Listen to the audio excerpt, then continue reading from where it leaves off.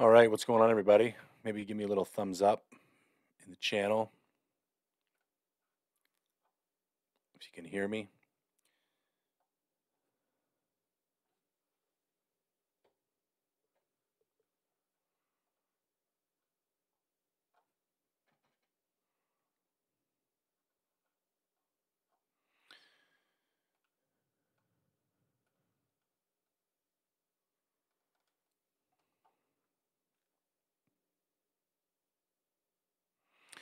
All right, so everybody tuning in on Instagram tonight, you're going to be better off clicking over to YouTube because um, this is going to be a live webinar and I'm going to be doing a shitload of screen sharing and uh, um, yeah, everything's going to be live on YouTube. Now, if you just want to, you know, listen in on Instagram, that's fine and I'll do what I can to pay attention to the questions on Instagram.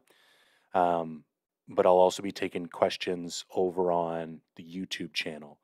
Um, I will not, yeah, I can't really answer DMs or emails while I'm on a live. So if you have a question, ask it on YouTube in the chat window or Instagram, and I'll do my best to keep track of both.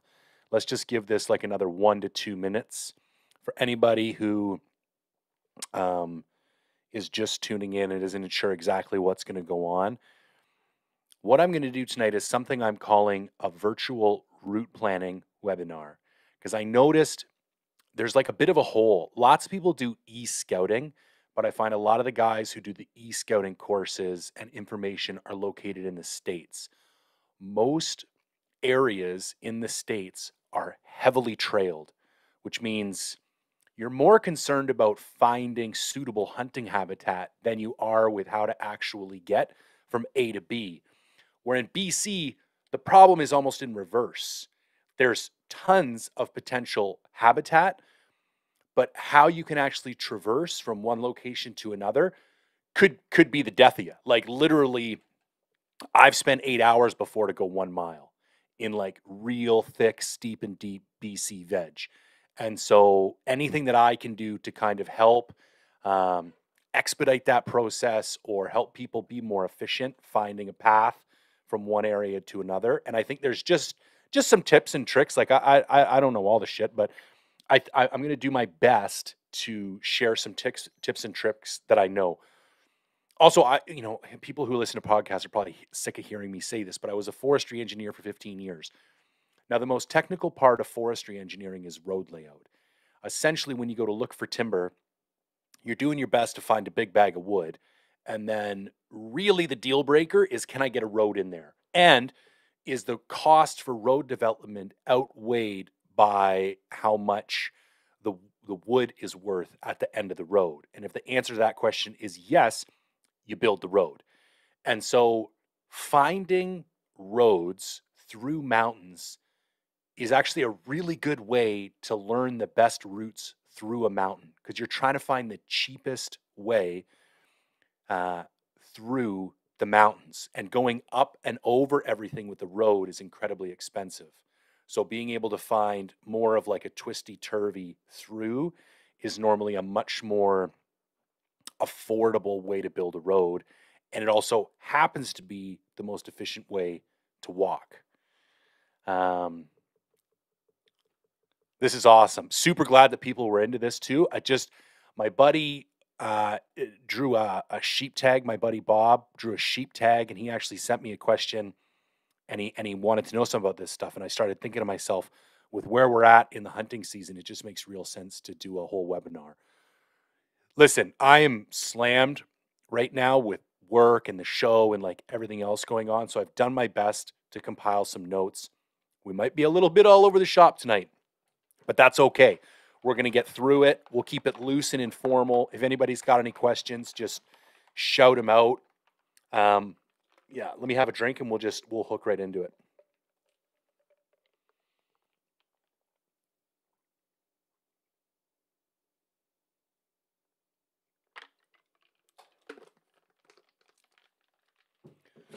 All right.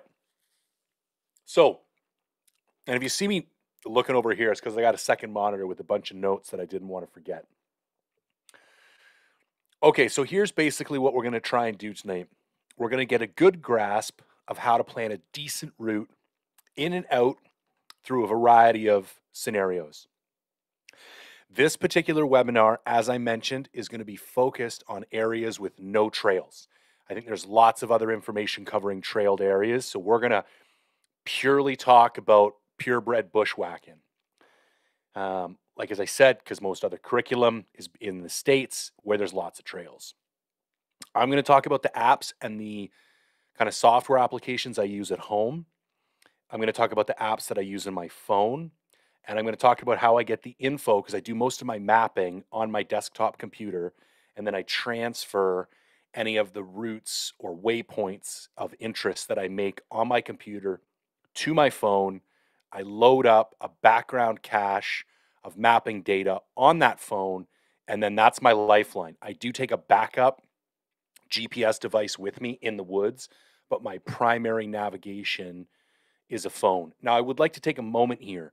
When I started working in the woods, we didn't have GPS. We had big ass backpack GPSs that rarely worked, that at some point you would take out to the field to get one point somewhere in your block, and then you would hand map everything to that one GPS location. And all navigation in the field was done with a compass, a clinometer, and a hip chain. And so I don't want people to assume that if you know how to use your phone, that's sufficient. You should understand how to triangulate and locate yourself based on prominent topographical features and find, you know, how to get home at the end of the night if you had to with just a compass. If there's interest in it, especially with summer on the way, like I, I I'd take a bunch of people out for like a, a, half a day or something and do a, a like a free land nav course. Like a lot of this shit is second nature to me because I used a compass for so many years. So if that's something that's interests you guys, maybe shoot me a DM or leave a comment on something. And if I find that there's like enough people, maybe we'll try and all get together and I'll do a little land nav uh, thing. But please don't take like because I I think the phone is a is a wonderful tool and it's opened up so many areas for us. But don't don't um, neglect your like old school land nav tools and rely solely on your phone because you're, you're going to end up getting your ass kicked one day. Um, I'm going to talk about different layers in Google Earth, how to get backup um, satellite and aerial imagery. I made a note here that Google Image is naturally sketchy. Um, and you're going to find Google Earth is the tool I use most frequently on the desktop, but it crashes a lot and sometimes the satellite imagery is not the best. So um, I'm going to use some other applications, and we're going to we're going to bounce back and forth between a bunch of different applications. So I want to say what's up to the YouTube, everybody who's logging in and leaving notes. RB, Wet Coast, Reed, Thomas, thank you all for popping by. Now, uh, let me let's get some let's get some shit open here. Let's fire up some windows and see what we got. Okay, we got that. Hang on, where's Fat Maps? Fat Maps is there.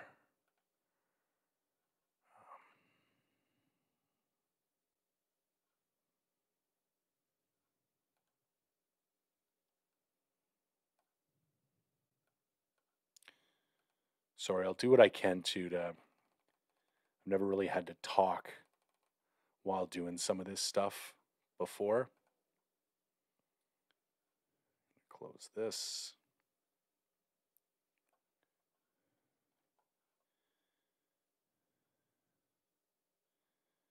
Hang on.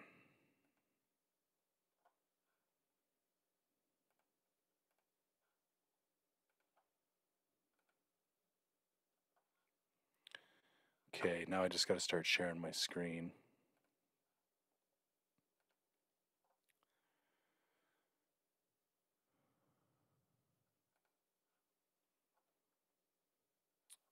Okay. I'm going to ask the guys in YouTube, and there's a bit of a lag here, but maybe the guys in YouTube, can you give me a thumbs up? Everybody should see Google Earth on one side of the screen and Fat Maps on the other side of the screen.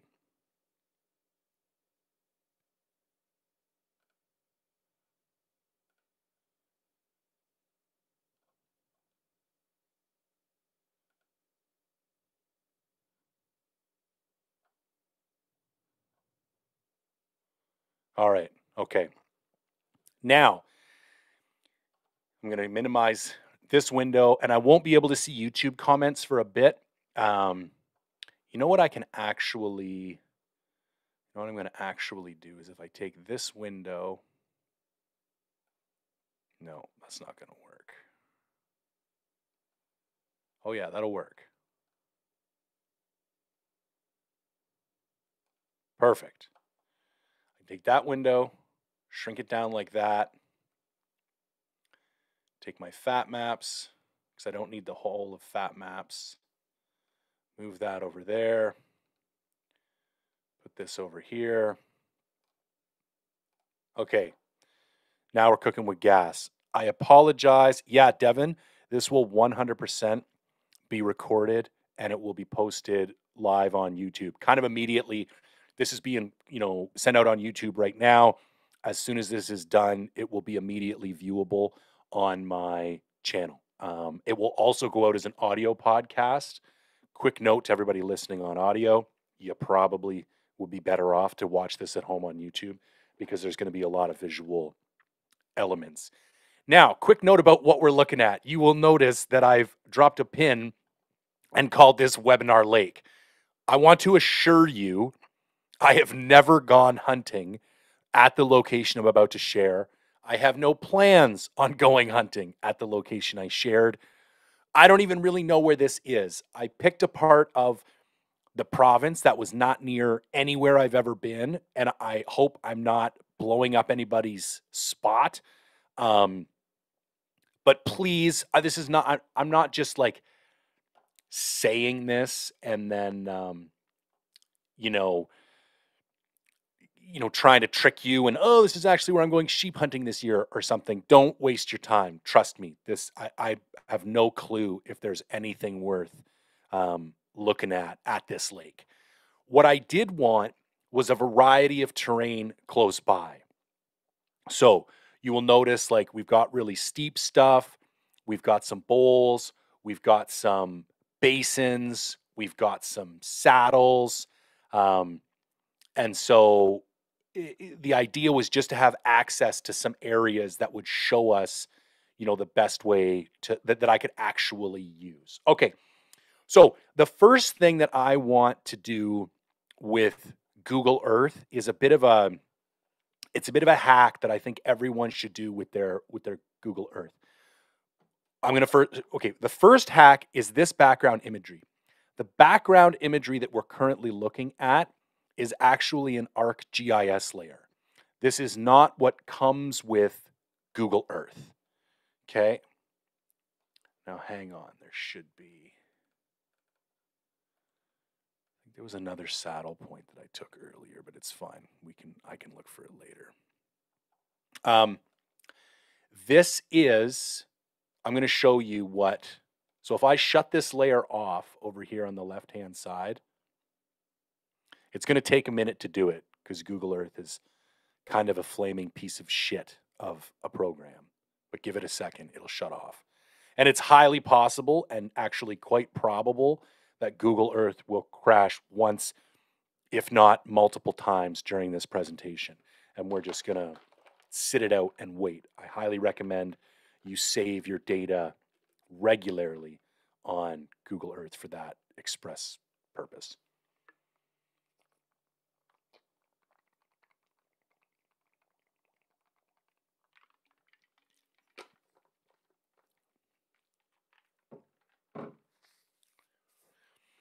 So it's just shutting off this layer in the background right now. Okay, so when you think of satellite imagery and Google Earth, it's kind of like a skin, and you can download different skins.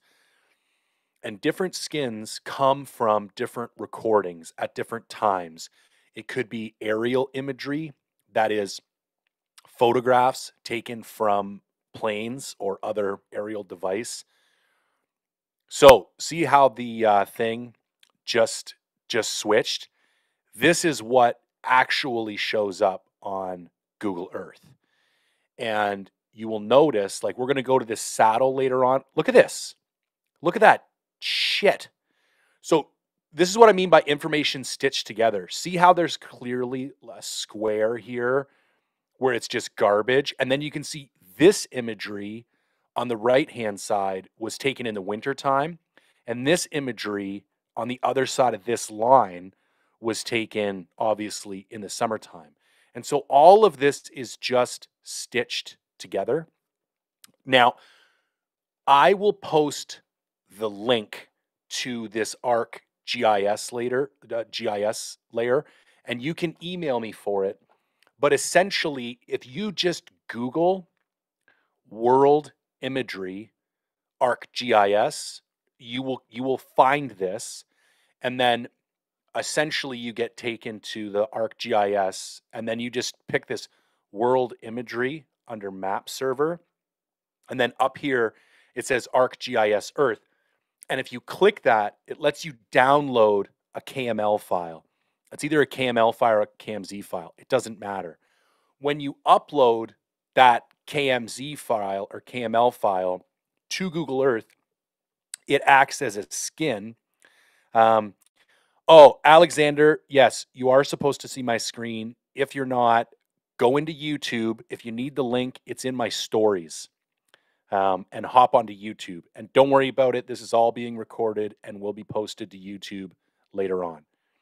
So now when I go and turn on, and again, this is going to take a minute, but I want you to take a look at at Google Earth and then watch what happens when this other background layer comes on.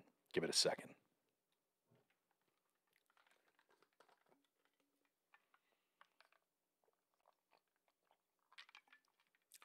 Yeah, small note for Instagram Live. I might try and figure out a way that I could do like a split screen for these things in the future so that I could show my desktop on the top half and just me talking on the bottom half. And to be honest, you don't even need to watch me talking if you can hear me talking. Um, so I'll play with that for for future things. Mostly, I'm just leaving the IG live open so that it reminds people that I said I was going to do this, and they pop on here, just like what happened with Alexander. And if it's interesting to them, they can go over into YouTube. Once I and don't worry, once I turn this imagery back on, I'm not going to turn it on and off and on and off. Now look at that. How crazy is that? So that's how much of a difference you get with this different imagery. That like here's the section that was all like it was just hot trash. It was useless. Um, and so there's okay, hack number one with Google Earth. Bring in a secondary imagery layer. I recommend world imagery from ArcGIS. Download it as a KML, load it up. Bob's your uncle. You will notice that it slows down your Google Earth a little bit um, but the but the increase in quality is well worth it. Okay, hack number two. I want to go find a steep section. People, number one rule with Google Earth is that you are going to grossly um, Oh yeah, that's not, that's not a bad idea. I'll get into that, Tanner. I don't even know if I'm going to get into it tonight. Let me think about that, how to work that in. Um, but yes, I think we should actually do a whole land nav course, to be honest with you, because um, I think people's inability to use a compass is kind of shocking. Um, okay, I'm trying to get to a, bit of a steep section here.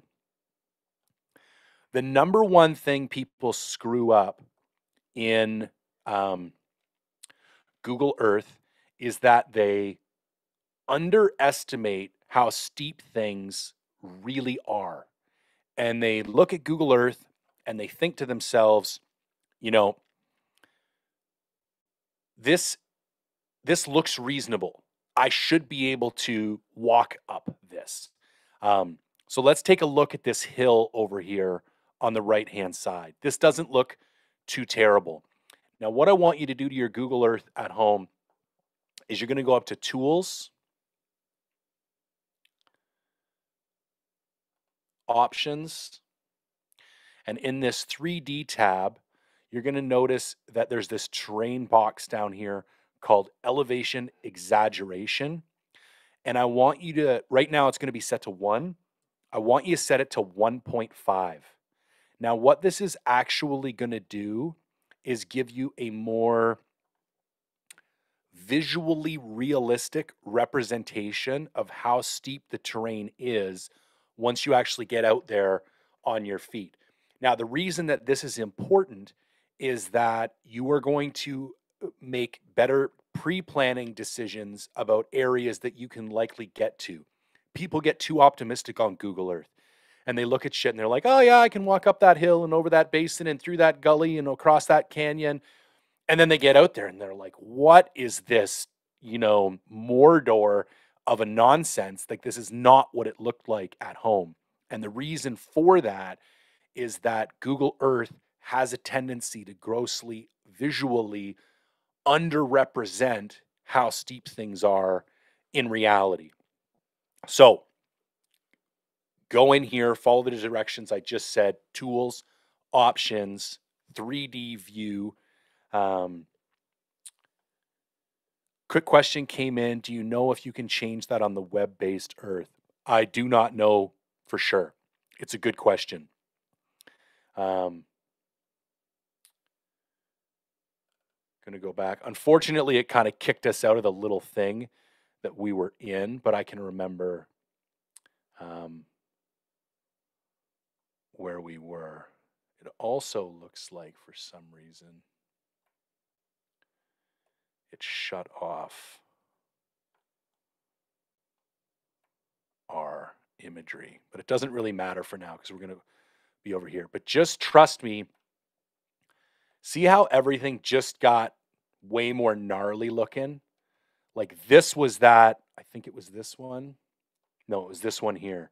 We were zoomed in over here and we were looking up this. Hang on, I'm just going to turn back on this, the world imagery, because it got shut off for some reason. Um, okay. All we really need to know about that is by setting that to 1.5, you are going to make more realistic there.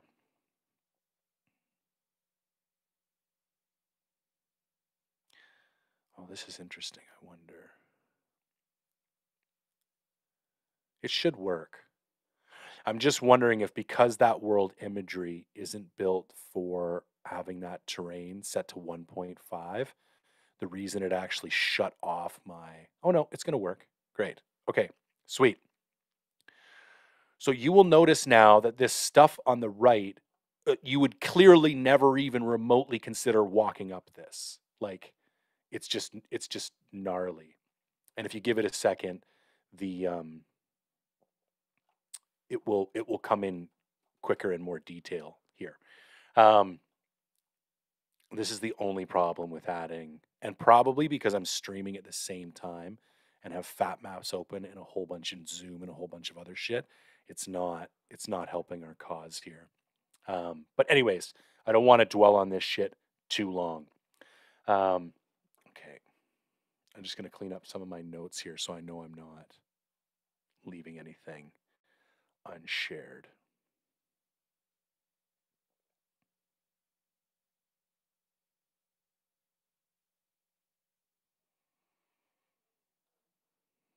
Okay, there. That came in and better. That cleared up now.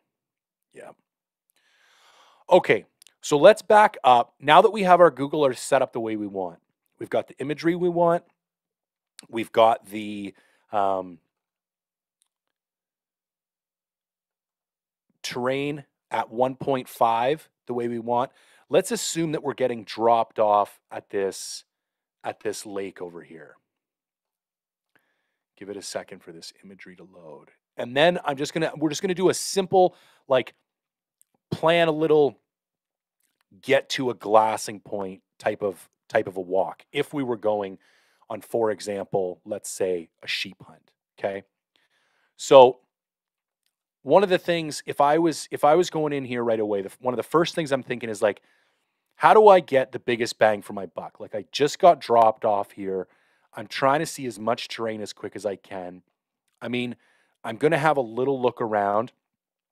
This knob over here like immediately jumps out to me because although it looks like there's a big flat here and you're going to be able to see once you're in this shit down here on the side of the lake you're you're not going to be able to see you know much of anything um, and you're going to need to get up out of this valley bottom in order to see anything now the reason i like to look for ridges in the middle is that they're going to give me a panoramic view. Like if I climb up on this side, the only thing I'm going to be able to see is straight across. And if I go all the way to that side, I'm only going to be able to see straight across. If I climb this ridge in the middle, then I'm going to have like a 360 panorama. I'm going to be able to see into this basin. I'm going to be able to see out here. So the first thing I do, let's assume that the plane drops us off on this little lake. I measured it earlier. It's a kilometer and a half long. It's not a giant lake, but it's big enough you know, that we can land a, a, a smaller plane on. So it drops us off, and and I'm going to do my scouting here at home. Like, what do I want to do? Now, the first thing I'm going to note is all of this wet, spoogey nonsense. And I'm going to give you a little trip, a trick. Flatter is not always better. In fact, you can kind of assume it's not better for the most part. And shorter is not always better. As a general rule, the faster that you can walk, the better off you are. So you're going to be trying to find areas with kind of like the least number of obstacles. And in British Columbia, obstacles are things like water, obstacles are things like vegetation. Primarily, vegetation is the worst most of the areas I hunt, you're just you're you're trying to get out of the trees. I've done a lot of island hunting on Vancouver Island and Haida Gwaii. You're trying to get out of the Salal. Done a lot of coastal stuff, and so kind of the steeper that you can get, and like finding little benches, you're, you're normally better off. So let's assume I get dropped off here, you know, somewhere on the corner of of of this lake or whatever the first thing I'm going to say to myself is I'm not going anywhere near any of this shit because it's going to be soaking wet. I'm going to be falling all over my ass. There's it's going to take forever to walk through here. I've already outlined that this ridge is going to provide me like a really nice glassing opportunity. So I would do something like try and get back away from this edge as quickly as possible and try and ride now, I wouldn't immediately start walking up here because you can see the kind of convex nature of this.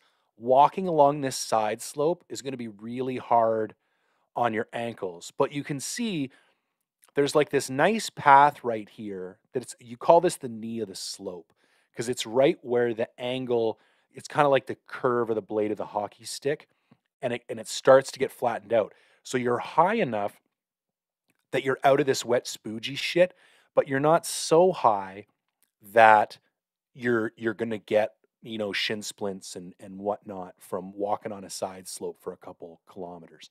So these are the types of things I'm looking for right away, right at the edge of this tree line. And I'll just bushwhack whatever I need to. This kind of looks shitty. This looks like there's a creek in here because of the break in the trees. And this looks like there's a creek in here because of the break in the trees. Creeks are a good thing because they are going to gather water. And if ga- if water is gathered into a creek, then it's not going to be dispersed across the whole landscape. And we can cross a creek in a couple of steps. So I would rather encounter something like that. The other thing that I do is I always plan my routes and I draw the route and then I import that route into my phone because just having waypoints on your phone, you're constantly having to zoom out and zoom in to like replot your your path to the waypoint. Whereas if you actually draw the line work on your Google Earth and then import that into your phone. You just got to pop your phone out, look at it for two seconds, and then recognize, oh, I'm a little bit off. Um, and then you don't have to like replot every single time. So it's a much more efficient way. Normally, I would like, you know, pre scout this a couple times and like zoom in and zoom out, but just for the sake of efficiency, I'm going to grab my little line tool. I'm going to assume I get dropped off by the plane here. I'm going to stick, and I'm, I'm literally drawing what I think is the path that I would walk to get over to this glassing knob. Okay. Now that's as far as I'm going to draw it right now because I'm going to want to zoom out and zoom in. So I'm just going to save this as path 01. Now a trick is save all of your paths, waypoints, and points of interest for one hunt in one folder.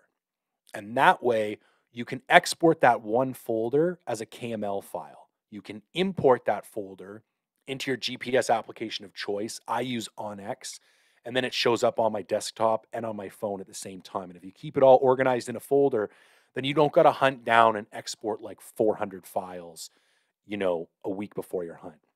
Okay, so now we get dropped off at the lake. We're trying to get to our first um, glassing knob. Now, this is where stuff gets interesting. So we've kind of outlined that it's tough because it's like green on green.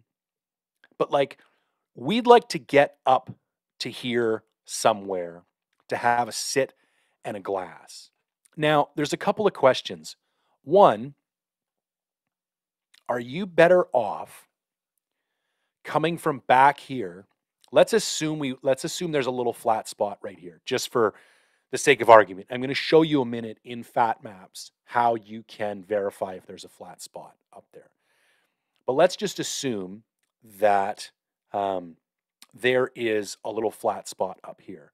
Now, are you better off starting back here and kind of slowly working your way up here, or are you better off kind of staying down low and then walking up the ridge? This is something that you're really only going to learn with experience. But in my experience, I would stick to the top of the tree lines. I would come in low and then I would probably walk. I've got this line drawn a little bit high. You know, I could edit it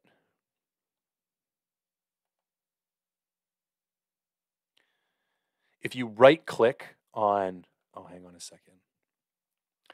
If you hover over, oh, well, let me do it. Normally, if you right click, it will let you um, undo the last point of uh, the file, but for some reason this one's not letting me.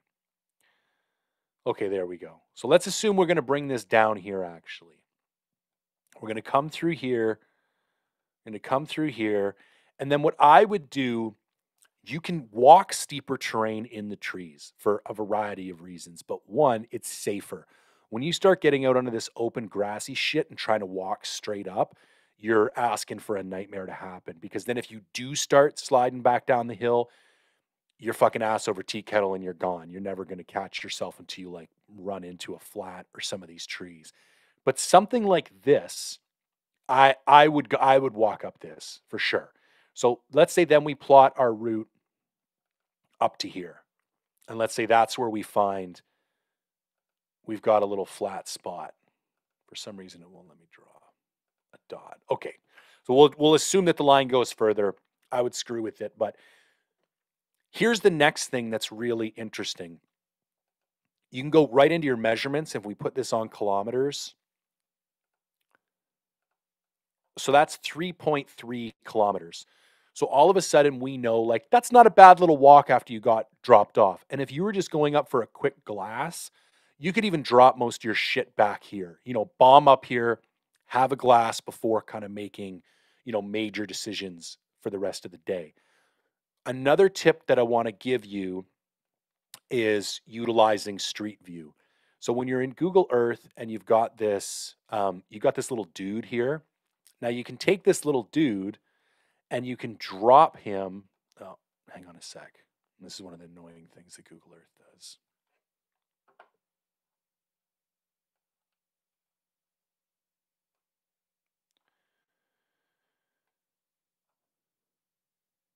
Okay, we're going to zoom back in here.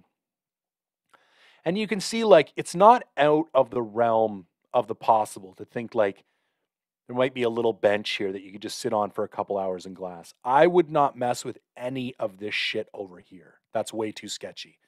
But anyways, grab your little dude. Hang on.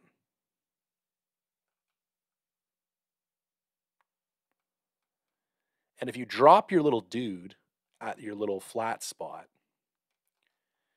it will take you down and give you the view of what you would see if you were standing right here. And then what you can do is zoom out. So if we were on the side of this hill, you can see now, we can see all the way over into this basin. We can see back into this basin over here. Going to keep going around in my panorama. And that's why I like these little island ridges. We're getting back into this basin. And I mean, if we're on a sheep, like we're going to be able to see, is there any sign up here? You're trying to let your eyes do the walking for you before you get committed to, you know, actually getting your boots. And now, more importantly, we can go all the way over here. Google Earth is being a bit of a bitch. Give me a second.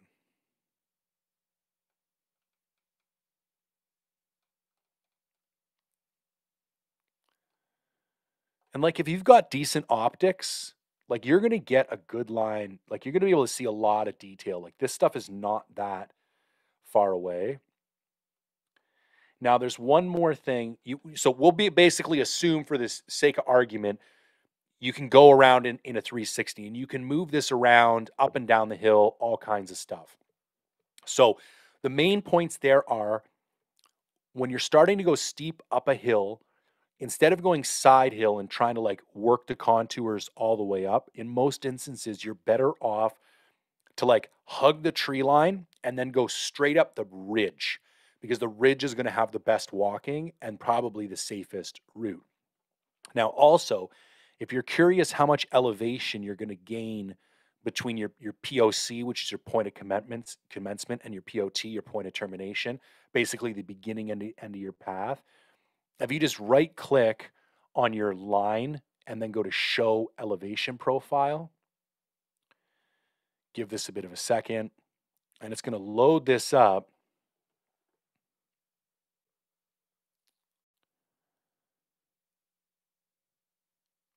So that's not bad. So we're going to go from roughly 987 meters to 1220 meters. So, you know, what are we gaining? 200 and 250 meters in elevation total. And you can you can drag this on here. It'll actually show you the grade of the slope at any particular portion, and it will show you um, what the particular elevation is. And so, like, and that's in percentage, not degrees. I'm not going to get into the math. Um, but like 45% is around 30 degrees. So the fact that this is all under 45%, like this is 100% walkable, walkable terrain. Um, 45 degrees is getting close to to 90%. Um, okay, so there's there's little mini lesson number one. How do we get up to a glassing spot? We want to stay away from the water. We want to ride the tree line. Want to go directly up the ridge lines, couple tips and tactics of, of tools that you can use in Google Earth to make your your life a little bit easier. Um,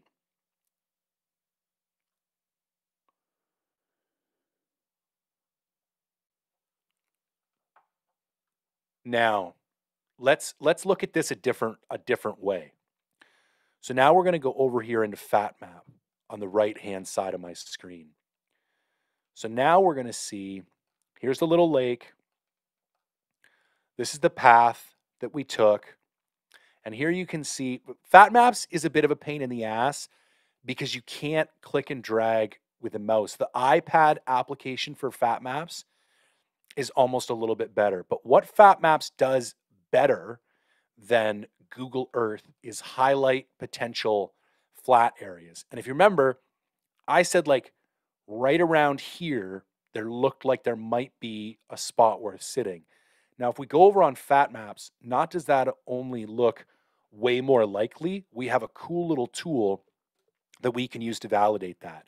So if you click this, this little layered icon um, down at the bottom right, and you go into overlays and you click your flats,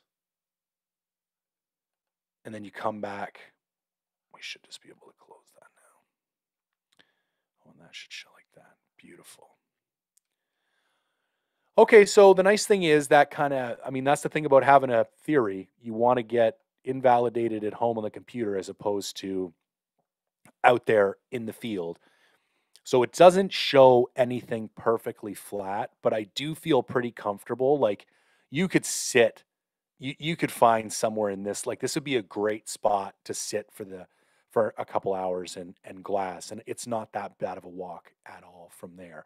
And you can see that FatMaps does a far superior job of kind of highlighting that area than Google Earth does. What FatMaps doesn't do nearly as well as Google Earth is allow you to like you can draw lines, you can drop points, but the importing and the exporting and all that kind of stuff is not nearly as nice as Google Earth, which is why I keep everything everything lives in Google Earth and I look at the other applications to supplement Google Earth. Now, I want to touch on something else. What I actually use this flats for is finding camping spots. So, one of the nice things about Fat Maps is that when you preload the data on your phone, it loads all the layers. So when you're out in the field, you can literally turn this flats layer on. So let's say we were heading up into this basins and you're like, ah, am I really going to be, am I going to have to walk all the way up into this basin and then all the way back down in one day? Or am I going to be able to camp up here? You could literally come up and you can see right away like a hundred percent in all of these green spots, you're going to be able to find something decent to camp at. And then the question is just like, you know, is there some suitable water close by? Excuse me. Um, so that's really the benefit of, of this flats aspect. So I have the background map loaded up in fat maps and onX. I use onX in order to traverse throughout the day, but onX doesn't have a 3D field view, and fat maps does have a 3D field view. So you can like take your fingers and you can morph it around just like this, like you can at home. You can't do that with onX on your phone in Canada. I think there I think there are areas in the states where they've updated it, but not with Canada. So I on my phone I use both Fat Maps and onX. Also, this gives me a backup in case one of the applications dies um, or I lose the background imagery, I've got a backup. Now, some people are going to ask why onX? It's the mo- uh, more expensive of the iPhone based mapping applications. I've been using onX for five years, probably well over a hundred days per year. And in fact, I, I even used to use it when I worked in the field as, a, as an engineer. Not one single time have I ever lost imagery or waypoints while I was out of cell service. I can't say that for any other application, whether it's Google Earth, Fat Maps, some of the cheaper phone apps, every single other app at some point in the history of me using it, I've gone to open it and it just shits the bed. And when you're on a 13 day sheep hunt and it's day three and you open your phone and the background imagery is just gone, it's gone for the rest of the trip because you're not going to be back in cell service and be able to load that up. So the reason that I trust onX is that it's reliable and it might cost a couple extra bucks. And maybe there's other reliable ones out there, but at this point in my life, I'm not interested in doing the legwork to to find them again. So onX and FatMaps go on the phone. Background imagery gets loaded up for both. All of my points and waypoints drawn in Google Earth get loaded up into onX. And I really only use FatMaps for the 3D viewing capability. Okay, hang on. I got to go back to my notes. Getting all over the place here. Okay, we covered using uh, a line feature to do the elevation profile. Now, there's another element of routes that I wanted to cover, and that's creeks, because we're going to come back into Google Earth now. Most, actually, you know what? Maybe we'll stay in FatMaps. FatMaps seems to be working a little quicker for our purposes. Now, most people, sorry, give me a second. I got to get my, my bearings. For some reason, most people, I'm going to shut off this um, flats layer because it's distracting me now. For some reason, most people think it would be efficient to walk down a creek. I think it's because by by human nature, we feel more comfortable when we're traversing a feature that can be followed and we don't have to consistently take bearings over and over again. But I can assure you, as a guy who traversed creeks for five years of my job, like mapped creeks, creeks as a general rule um, you know what? Sorry, Wet Wet Coast just jumped in and said he's had great success with iHunter, um, and in fact, um, and it does show Canadian land use and and private and public. I did just start to play with iHunter a year or two ago, and I can't uh, report having any problems with iHunter as well. So if you're newer, or just you want a more BC based app, I know they have BC and they have Alberta maps. I think that's probably another really great option. I haven't had the opportunity to play with like importing and exporting and all that kind of stuff, but um, it's also a Canadian company, so um, it's probably a good idea to try and support them where you can. So there's another shout out for another for another app, and, and please by no means is am, do I you know am I the be all end all of of mapping applications or or phone applications in general. If anybody has any other recommendations, um, please let me know. And again, it's be, it's a lot to do with the fact that I hunt in the states a lot or did pre-COVID, and so having everything housed in onX means I don't have to worry about separate applications. Um, but we are BC boys for the most part, so um, I, I probably should be using more BC friendly apps. Now, back to the creek thing. Most people assume that it's easy to follow a creek or it's a good idea to follow a creek. And I'm telling you, I'm going to here's the thing. With a caveat, the answer is yeah, it can be. I like it if I can have a creek in earshot or eye shot because then I'll know if it's just, oh, if there's a creek 200 meters down to my right, I'm in the right thing then I can just put my head down and pound some miles out. And I don't have to do too much thinking. And you will find trying to traverse through the raw bush, the thing that breaks you down the most is how much thinking you have to do and how much decision making you do. And that's where I see people burn out out in the field more often than not.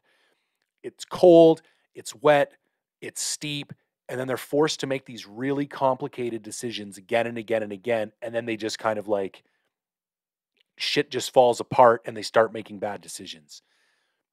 And so anything that we can do to reduce the amount of decisions we need to make in the field will increase the amount of endurance that we have in the field which will increase the likelihood of us killing an animal which is the ultimate priority while we're out there.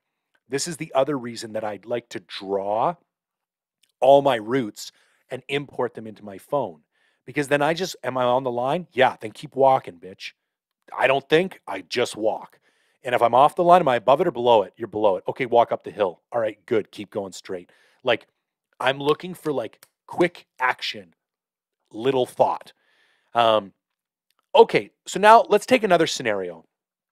Let's say we got dropped off at this lake, and for whatever reason, we don't we're, we're not interested in what's over here. Maybe there's other hunters over there. Maybe we've been to this area before and this stuff's not good. Where we really want to get to is like this shit over here you know? Like clearly that's a different timber type. This is a, a thicker grain which which means it's an older more mature timber type. It's darker in color. Um, so it's going to be a different it's likely a different species or a different mix um, and and let's say for whatever reason that's the area where we want to where we want to get to and we're looking at a whole bunch of different ways over there. What really jumps out to me right away and the reason i've put this point over here is a saddle. When you're traversing through the raw bush saddles are, are one of these features that you want to get to know really well because if you're trying to traverse across a range, like we live in British Columbia, this is not the rest of North America. You do not go up and over mountains here for the most part. If there's a mountain, you're fucked. You're going around it. Like, look at all of this. Here, I'll zoom in over here because it seems to be loading quicker. Like, you're not walking over any of this shit. Like, it's just going to be gnarly. Now, some of this you might be able to walk across, but for the vast majority, and that, that's the other thing, any of this like raw gray, raw brown stuff you see on any of these mapping applications, just don't even think about it. It's just death. You're not going to be able to walk up there. Now there there are exceptions to that, but for the most part, all of this stuff is is off limits. However, when you start seeing, I always get these arrows. Like, see how this goes? This is called like a saddle here. It's not really well defined, but it's basically like a hump between two basins where the ridges come down and there's like a bit of a flat spot. Now, here's our lake back here. And so, again, let's assume we want to get to that other side. What I would think about right away all this spoogy shit. And I, for the interest of time, I'm not going to draw the lines, but assume I would end up drawing a line through all this stuff. I'm not going to want to go in here because it's going to be spoogy and gross. I don't want to go down here because this is a really big creek. And so it's going to have really just marshy, shitty spots all over the place. I love seeing this line right here because it means this little section is raised up. So I'd literally draw a line right through here. I would come over here, I'd get up on this. Now we're going to zoom out. And I would start coming up over here. And this is one of those sections where I would not, don't think about walking down in the creek because it's going to be terrible. And like, listen, man, I could be wrong. Oh, that's another note I want to make right now because I actually, I pointed this out and I wanted to. Now shit's moving in Google Earth for no reason there was a couple notes that I made. Okay, number one, don't be married to your plan. Number two, have several backup plans. So when I make a plan, it is based upon some assumptions that I'm making about what that ground is going to look like based on my previous experience hunting similar areas, seeing similar timber types, seeing similar colors, seeing similar, you know, shapes and shading. I'm using intuition and pattern recognition to take a best guess at what things are going to look like on the ground. But until I put boots on the ground and ground truth it, I don't know. But what once you do put boots on the ground, you want to immediately let that kind of update your plan like all that shit I said about the creeks, some creeks that goes right out the window, man. Like something like this that's real grassy and open like this, like, dude, that might just be a cakewalk. I mean, who knows? Is it most likely? No, it's probably shit. But it could be good. So you're going to want to stick your head in there before you go do whatever.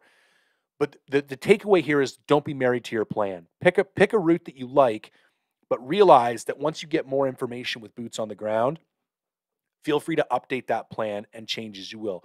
Now, here's the, the stuff that I really want to talk to you about this. So we're going to walk all the way through here. It's pretty clear where you would walk. I'm just going to stay up off the creek edge on the dry stuff as much as I can. Now, this th- this is worth this is worth talking about a little bit. So see how this dips off? It is a bad idea because one might think, well, if I'm trying to go over here, the quickest route because this is very shallow. This is very easy. I could come up here no problem. And then somebody's like, oh, you just deke over. No, that's not going to happen. This is going to be very shitty and probably inoperable. And then you're probably going to have to walk all the way back down here and up through here. So this is one of those areas where you're going to like want to hug the contour. I would come, there's clearly some kind of bench in here. I would come through here somewhere and then start hooking around here. And I may even cross. In fact, that's what I would do. I would come down here, I would cross this stream, and then I would head this way. And I would keep going up here. And again, I would stay 100, 200 yards off this creek the whole way. I actually picked the right direction that time. That was satisfying. Um, one of the notes I want to make sometimes creeks are heavily incised. And incised means there's really sharp walls on each side. And so don't just assume. Now, something like this, because of the shading of it, you don't really. I was trying to find a better example earlier when I was going over this.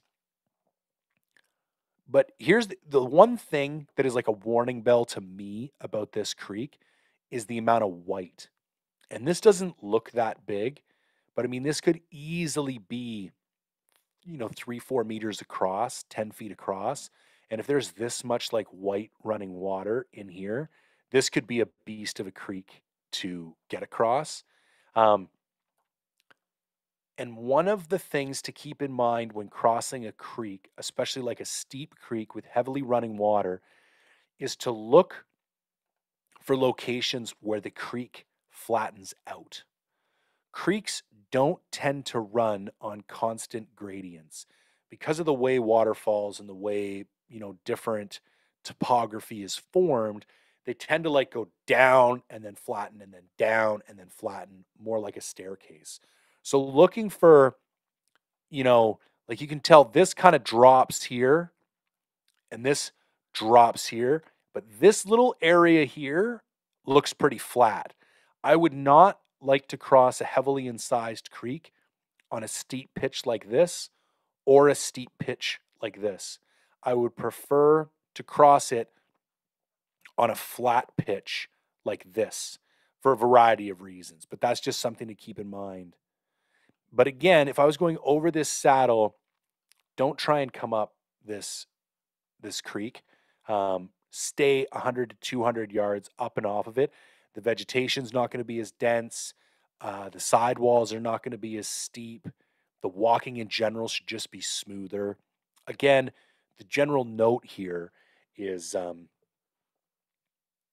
Faster is usually better. So the faster you can walk, even if it means going further, is usually is usually better. Okay, let me see what else I got. After that, it's pretty smooth sailing. You can kind of do whatever you want through here, do whatever you want through here. And then you're into like some pretty creamy stuff over here where you for the most part you can do whatever you want. Um, hang on, I'm just going to go back to my notes and see what else I got here.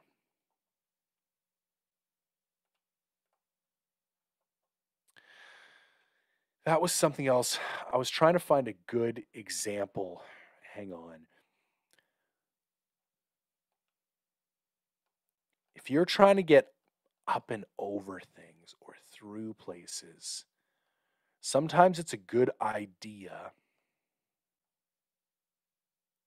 You know what? This might be a really good example right here. Let's look at the topography for this.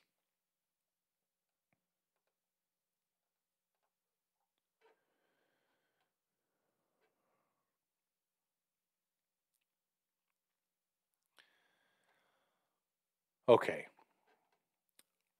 So, yeah, there we go. That's nice. So everybody is seen like a road switchback to get up a hill. A switchback is like those big S curves. Logging roads do it all the time.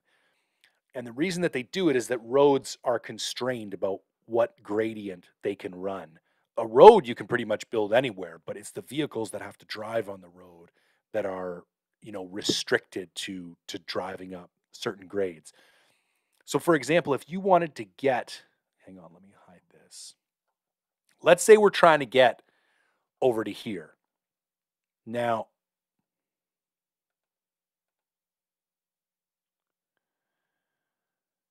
you cannot go straight up the end. This much we know for sure. Like that gradient is too steep.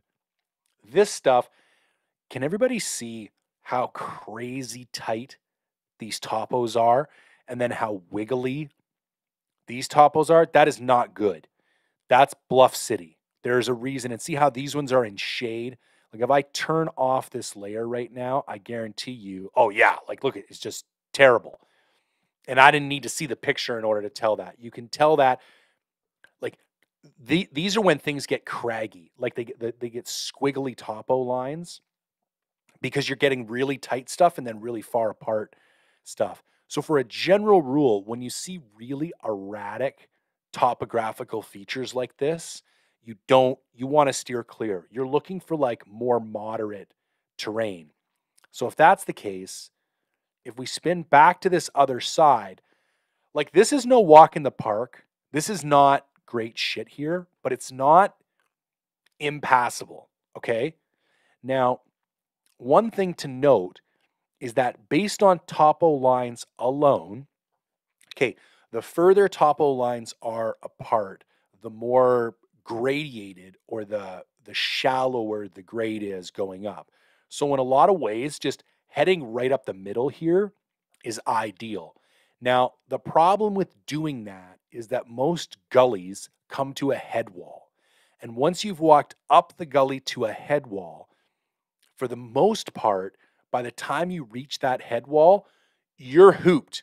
Now you're too far up the canyon to actually like back out and start working your way up the contours.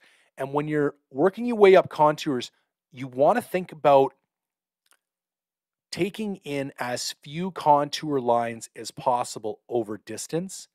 And you want to think about like turning or utilizing these like flat, flatter ish areas where you can like gain more ground or like get up and over stuff.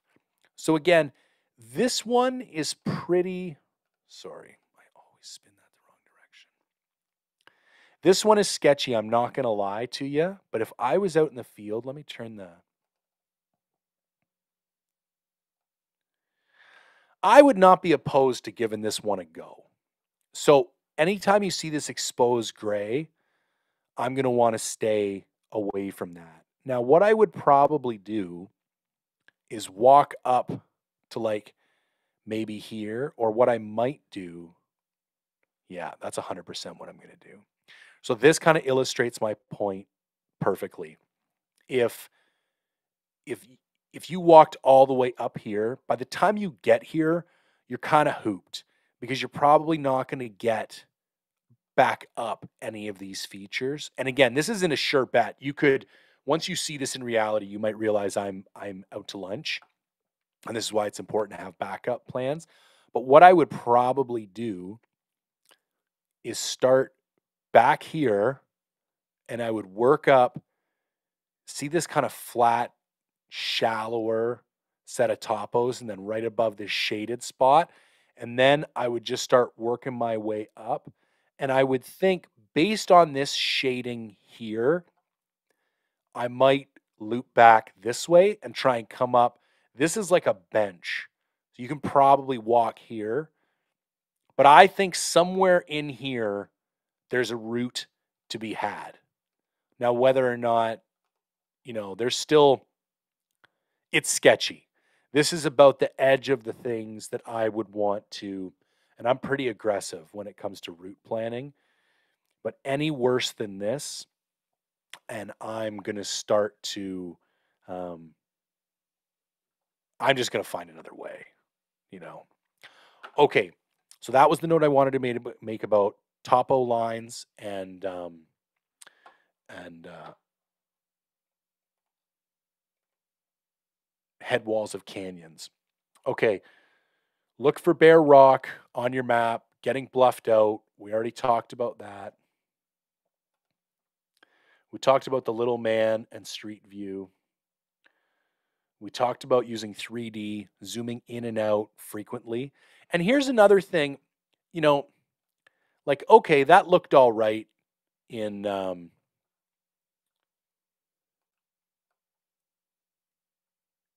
fat maps. Now, where is that in relation to our lake? That's our lake over there, and that was there. So it's all the way through here and then to there.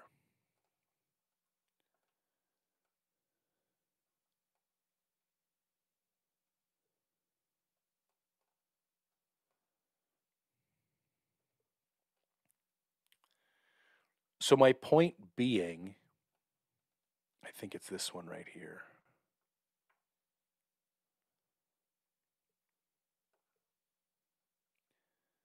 Through here, back here, and in here.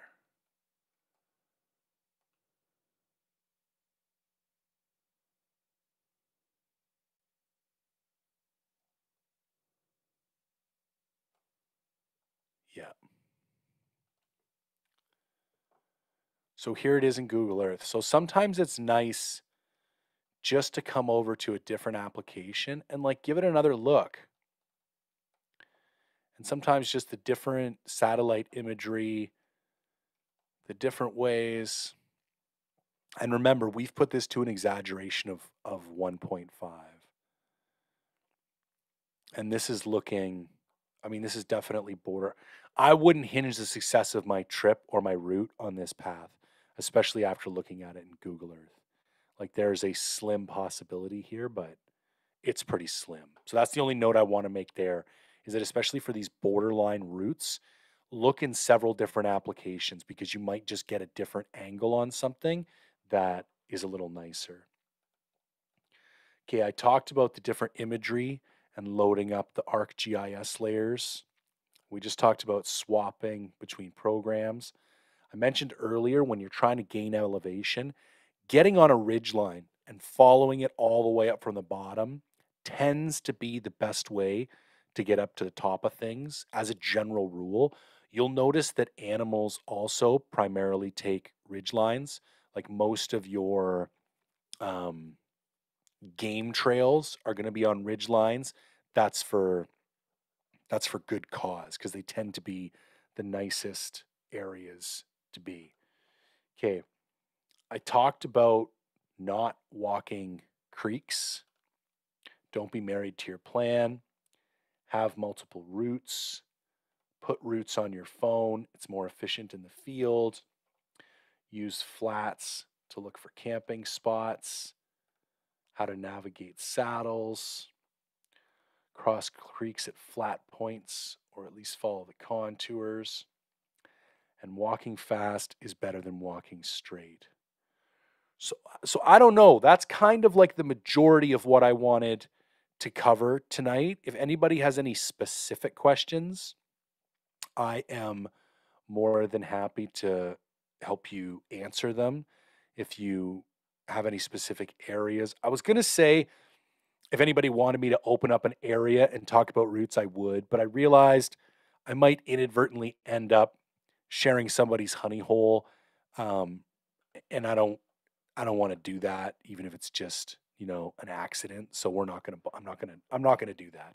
But if one of you guys like one on one, you've got an issue where you're planning to go, and and you just want some feedback on a route, shoot me a DM or whatever. I'll hop on Google Earth with you, and we'll we'll FaceTime and like try and figure out, you know, what the best way to get in would be. I think the best advice I can give is just like spend time in these applications, zoom in, zoom out, draw routes, and then think about those routes. And I take notes on my phone when I'm out in the field. Like, this is what I thought it was going to look like. This is what it actually looked like. So that the next time I'm in this situation where I'm planning a route, um, I have I have better, you know, intuition is just pattern recognition. Okay. The more times we see a particular occurrence or a particular situation evolve, the more likely we are to predict that situation in the future based on us recognizing one or more patterns from the past. So, the more patterns that we can recognize and store in our brain, the better our intuition becomes. And so, if you need to like write some notes in order to, you know, improve that for yourself or do whatever, I mean, so you pay more attention to it, then have at her. But that's one of the things I do. Um, but I'm also writing notes about how gear is breaking down and how my nutrition was and what my energy levels were like. Like I'm pretty, pretty you know, OCD about a bunch of that stuff. But yeah, spend time in these programs. I think the biggest thing too I can I can pass on is like plan the shit out of it. Draw all your potential routes and put it all on your phone. Just having a bunch of waypoints on a phone is not nearly as efficient as having actual routes on a phone. Um, and play with that. See what you like, see what you don't like. Get back to me after you've tried a couple things and and if there's something that you liked or or didn't like um i'm trying to think if there's yeah i think that's it okay no more questions in the youtube no more uh, questions on instagram live appreciate everybody showing up um, i hope this was beneficial in some way if you want a round two on this and you have some more specific questions about things that would be beneficial to cover just shoot me a dm or whatever and we'll we'll get it covered. And um, oh wait, Thomas, how do you determine the vegetation in an area or how big the trees are? That's a tough one, man. Now, if we were going to get technical, there are timber types like the entire province has been timber typed. And what that means is that basically through photo analysis, some of it done via computer, some of it done via human being, they have gone and assessed the age class, the height, the density, and the species composition of all the areas of forested cover in British Columbia. And if we were to draw up a map with timber types on it, you would see little like, uh, you know, three to four digit numbers like nine, five, six, uh, S, X, HW or something like that. And that would be an age class of nine, density. Um, it's been a while, man. And then it would tell you like leading species and following species. And if you've been doing this long enough, that can tell you that uh, kind of what to expect. Here's the caveat to all of that. Most of the time, it's out to lunch. like, unless you're in an area where they're doing a lot of commercial logging, because that's where people spend their time and the energy appropriately timber typing it, it, it's really just like throwing some shit against the wall and seeing what sticks. Here's the thing. I assume until proven otherwise that it's garbage that it's going to be shit to walk through. Like most of most of this stuff is terrible. Okay so a bit of an ad, a bit of an insight into the question. Thomas says, I'm trying to scout out some spots in Ontario, but we don't have crazy ridges for areas to glass. I found a couple of spots that have a couple hundred meters in elevation change, but it looks dense as fuck. Yeah, you're hooped. Um, for the most part, even for us, like, I don't know if you can still see my screen, but see all these areas up on the high here. If you're in these trees, you're not going to see shit the only way we can glass stuff, even out here, even if you're getting up like five, 600 meters in elevation, you never see out through these trees. And if you do, it's like a little like window pane of an opening. It's not like something you can actually glass. You have to break free of the cover. Now, that being said, what, yeah, that's all on Google Earth. Now, that being said, if you can look for little openings in, on, in Ontario, I'm from Ontario, what you're probably going to be looking for is rocky openings. So if you can get on those little elevation rises that you're talking about and look in Google Earth, go in really close and and actually look and look in fat maps, look in Google Earth, upload the different layers like I told you and look for little rocky openings. Because if you can get like a 20 by 30 or a 30 by 40 excuse me rocky opening then you're the likelihood of you being able to glass a little bit is going to be much better. Now, the only other thing I'm going to say is if you're standing in the middle of a forest, even if you can glass out, you probably ain't going to be able to see shit because you're just going to be looking into more trees. So, most of the stuff that I'm aware of in Ontario, you're like still hunting, setting up cams, tree stand hunting. And the reason you're doing that is simply because you, you, you can't glass for shit, anyways. Um, okay, my laptop battery is is fading out, so I'm going to wrap this up. Thank you, everybody. Deeply appreciate it. If you could take a moment and engage with the platform, throw a like on the YouTube video would help a lot. Um, like, comment, share, subscribe to the to the podcast. If you want some merch, mindfulhunter.com slash shop. Uh, if there's anything I can help out with in the future, shoot me a DM on Instagram, mindful underscore hunter, or shoot me an email, j at mindfulhunter.com. And as always, thanks for tuning in.